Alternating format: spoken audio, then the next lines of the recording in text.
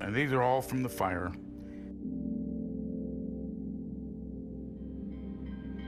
From the house that burned. Christina Karlsen perished in the house fire. They found her doubled over outside of the tub with a rag covering her face. That day, I got out there and, you know, I started looking around.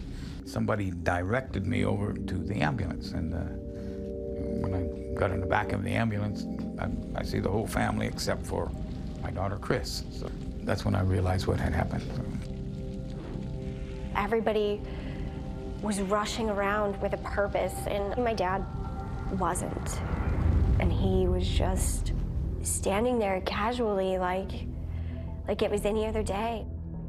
There were people in California who, right from the beginning of 1991, believed that Christina's death was not accidental.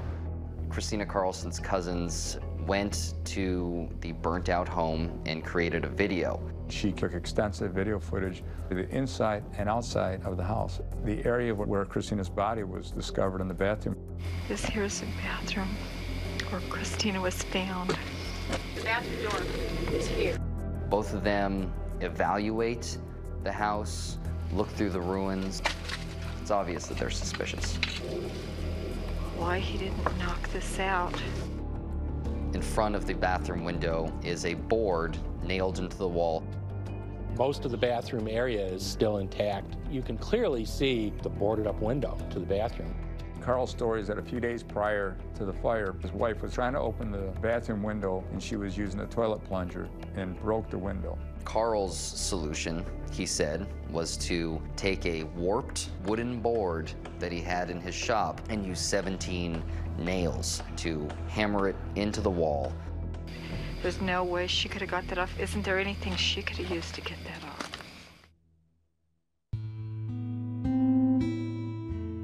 I went to the house the next day. I asked somebody to drive me out there, and they said, Colette, you don't want to go out there? And I said, Yes, I do. I stood in the bathroom and could not, for the life of me, understand why somebody didn't try to get her out.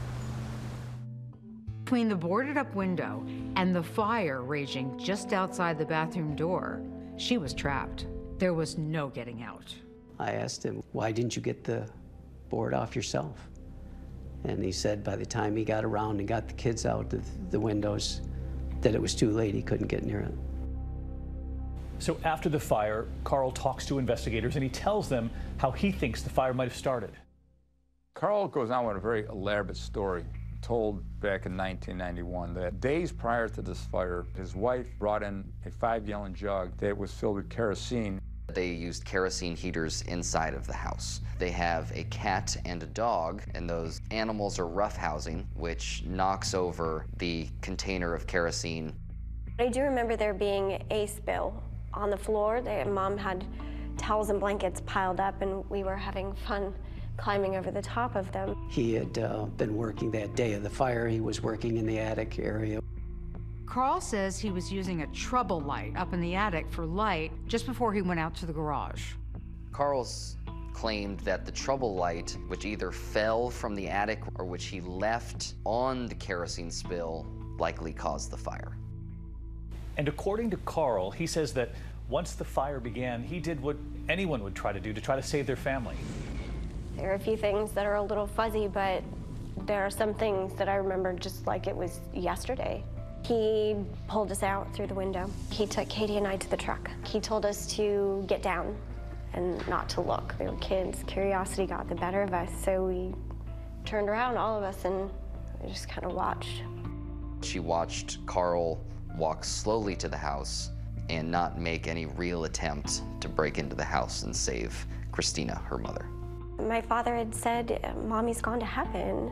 Even before the ambulances got there, the firefighters, like while we're sitting in the truck. We didn't understand, of course, the gravity or what it really meant, but we knew, so we were all really quiet. Christina's death is ruled an accidental death. The actual physical cause of death of Christina Karlsen was smoke inhalation, which indicates that the fire was not on top of her. We just flew to California as soon as we could get there. He was very stoic, emotionless, and he just said, I want to go home, meaning New York. And it, at the time, it made sense. In four days, they had everything taken care of, and uh, they were off to New York. They were gone before she was even laid to rest. If you really were that concerned about everything that happened, you would stay around and, and you wouldn't be avoiding talking with detectives or the fire marshal. Carl Kent, who was the investigator for California Department of Forestry, he had a lot of questions about the cause and who started this fire. And I was requested to come to a fire scene. I thought the circumstances of the fire were suspicious. There was um, concern that something wasn't right. And it didn't help that Karl had taken out an insurance policy on Christina just weeks before that deadly fire. Karlsen went to an insurance agent and bought a $200,000 policy on his wife. The fact that the policy was purchased 19 days before Christina's death, I think, rang the alarm bells in the head of State Farm Insurance. State Farm brought in Ken Buskey. Typically, I'm hired by an insurance company to answer what the cause of the fire is. The story they related to me at least initially made sense as a story that the hot bulb from the trouble light could ignite the uh, kerosene soaked into the carpet. But you know, when that investigator looked at that severely burned light, he was able to determine that the filament had not been energized at the time of the fire, meaning the light wasn't on. If a bulb is off, of course, it's not apt to be the cause of the fire. Mr. Karlsen's story simply couldn't have been true. So Ken Buskey turns his report into the insurance company, telling them he's convinced that this was no accident. This was a set fire by a human being. Well, we clearly know there was only one human being capable of starting that fire. But for whatever reason, that report didn't stop the insurance company from paying out the claim. Karl was paid $215,000, and it was not explained why their recommendation to not have him be paid out was overlooked. The insurance company did a very good investigation. Law enforcement, it didn't seem, was doing anything. I never saw Mr. Buskey's report. I didn't know who Mr. Buskey was. It just seemed like when Karl moved to New York a few days after the fire, it's like everything stopped and there wasn't much follow-up. I asked if they would front the monies for me to travel back there and interview him. Carl Kent wanted to go to New York to interview Karlsen in person, but his superiors turned him down, saying that there just wasn't enough money for that kind of trip. The DA's office said it was a good circumstantial case, but there wasn't enough to prosecute at that time. I was hoping something would happen, but uh, somewhere after maybe the 15th year, I was uh, beginning to think somebody got away with murder. All these years later, with his 23 year old son Levi dead, there are people who start to wonder did he get away with murder not once, but twice? You get a phone call. I was asked if uh, if we'd investigated an accident involving Levi Karlsen's death. Do you remember the call to this day? Oh, yeah. Cindy's concerned now that the first wife dies in this tragedy, Levi dies in this tragedy. Am I next?